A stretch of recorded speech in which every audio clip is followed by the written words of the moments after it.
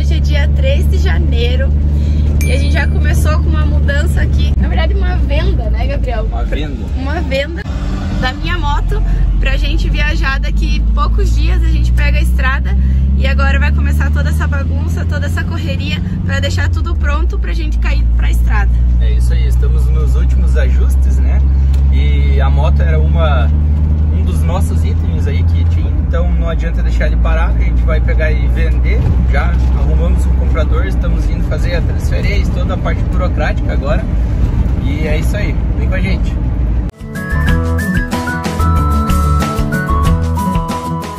A gente foi procurar a documentação da moto agora pra poder fazer a transferência, né? E ficamos aí uma meia hora revirando todo o quarto, todas as caixas de documento, né? A gente guarda numas pastas todos os documentos e não achava o bendito do documento da. Como é que chama? O recibo, né? O recibo para fazer a transferência. Aí a gente foi pesquisar e não existe mais recibo, porque mudou totalmente agora a documentação e não existe mais recibo. E aí tava que nem as baratas tontas procurando o tal do É, recibo. Como foi feito, na verdade foi passado pro nome da Bruno no ano passado, né? Que a gente comprou ela. é, já é aquela documentação nova, é, o documento dela é numa folha branca, né? Uma É, folha uma A4. folha A4. E parece que o recibo tem que entrar no site lá e fazer. É, baixar ele e imprimir, né? Só que eu entrei lá e não consegui achar. Aí o que dizem lá é que é para ir num despachante para ver se ele consegue fazer essa impressão, que é uma folha A4 que é uma autorização do comprador e do vendedor. Então a gente está indo agora na caixa, né? é, no banco fazer a transferência e daí já ir no despachante para imprimir essa folha aí que eu não achei.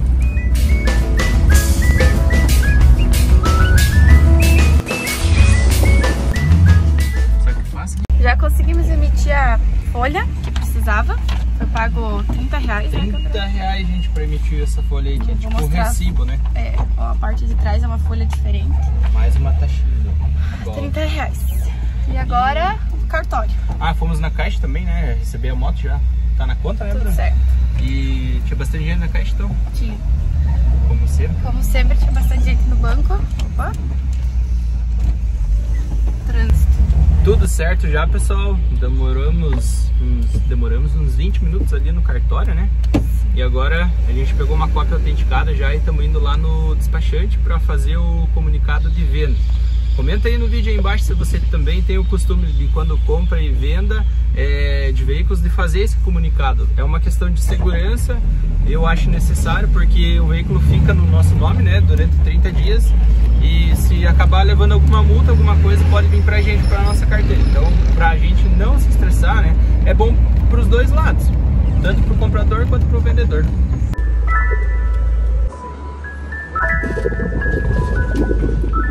E agora, só temos a Kombi.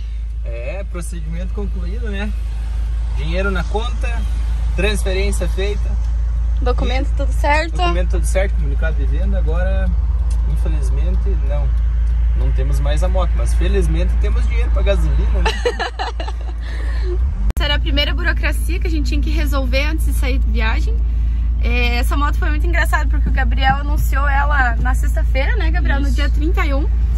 E em menos de uma hora eles já chamaram, eles já foram ver a moto e já queriam comprar naqueles dias mesmo. Mas como era o dia 31, então a gente optou por deixar para fazer hoje, que é dia 3 de janeiro. E agora tá tudo certo, a primeira etapa concluída com sucesso. É isso aí, agora tem mais alguns ajustes aí que a gente tem que fazer na Kombi antes de viajar, como uma, uma revisão, baú que a gente mandou fazer também e mexer nesse banco aí, que a Bruna tá Isso, sardinha. tô incomodada. Tem uma lista, na verdade, de coisas que a gente tem que fazer. Então acompanha aí, já curte e comenta esse vídeo. Se você gostou, se você não gostou também, deixa aí o teu comentário para o que a gente tem que melhorar. É isso aí. Então essa parte da moto tá resolvida, foi vendida, tá tudo certinho. A gente vendeu super rápido a moto. É uma bis, né? Então é fácil de vender. E agora a gente já almoçou, voltamos para casa, almoçamos e vamos para a próxima corrida, que hoje na verdade a gente tem várias coisas que tem que ser feita, né? E a primeira, a segunda delas, no caso, a primeira foi a moto. A segunda coisa agora é tirar as coisas do meu estúdio, onde eu atendia, né? Quem, pra quem não sabe ainda, mas eu era design de sobrancelha, eu tinha o meu espaço E todas as coisas que eu tinha lá agora vão ser vendidas. A gente vai vender até para a prima do Gabriel, que vai dar continuidade no trabalho de design de sobrancelha também. Então a gente vai lá limpar e deixar tudo certinho para entregar a sala do jeito que a gente pegou. Isso aí, agora você vai acompanhar então, a gente vai lá buscar um carro adequado, uma caminhonete, né, para tirar, acho que é, não tem muita coisa assim, né, mas é a cadeira, uma flor também, o que mais A tem? poltrona e uma mesa. E uma mesa. Não é muita coisa, mas não cabe aqui dentro É, da mas conta. vai dar, uma, vai dar uma viagem, né? Então a gente tá indo lá na oficina onde eu trabalhava para buscar uma caminhonete lá e ir lá buscar fazer essa mudança aí, né? Então vamos lá. Depois dessa venda, pessoal, aí a gente não vai ter mais nada para vender mesmo. É as últimas coisas que a gente tem pra vender.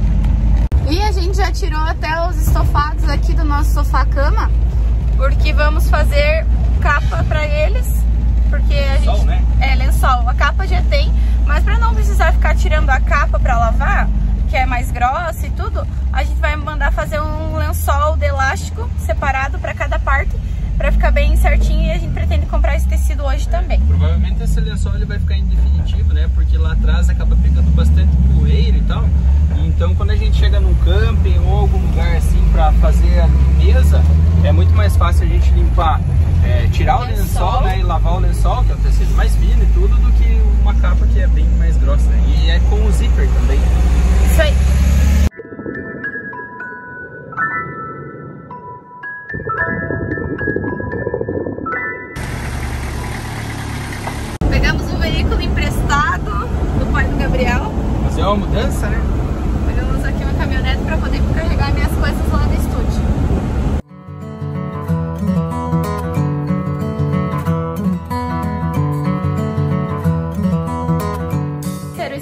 eu trabalhava.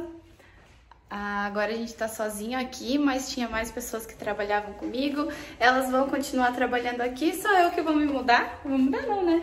Ô, Gabriel, já tá tirando tudo. Tá com pressa, Gabriel? Utilizar o serviço. Essa aqui que era a minha sala, gente. É, então eu fazia sobrancelha, né? E eu não tenho muita coisa, na verdade. Eu só vou aquelas coisas que o Gabriel tirou. Essa cadeira aqui, a mesinha, a Isso luz, aqui. A luz já tá vendida. E é isso. Tá vendido, né, senhor? Tá Legal. vendida já. E é isso, vamos se despedindo das, das coisas aqui, da minha sala. Passei um ano atendendo aqui. Antes disso atendi em outros lugares, né? Mas foi muito bom.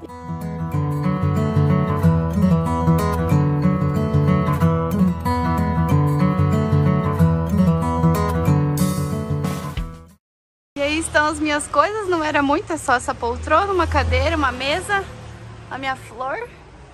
E o Gabriel tá amarrando ali pra gente levar embora pra outra pessoa já.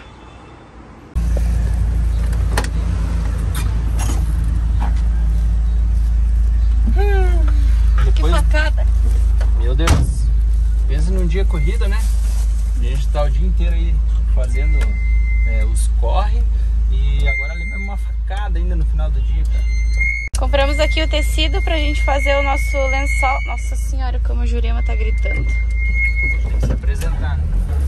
É, Eu escolhi essa cor aqui, um azul escuro, porque a gente vai deixar esse lençol direto nela. Então, naquele banco ali que a gente senta, que é aquele aqui, ele suja muito. Então fica mais fácil pra gente tirar e também o escuro é mais fácil, né, de manter. É isso aí. Agora a gente vai ter um lençolzinho aí, então quando chegou num campo, tira ele, dá uma lavadinha ali. Mais deixa fácil. 100%.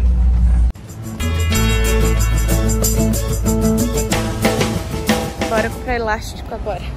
A gente foi ali na primeira loja aqui em Francisco Beltrão e ainda tava em férias coletivas. Dia 3, volta dia 5.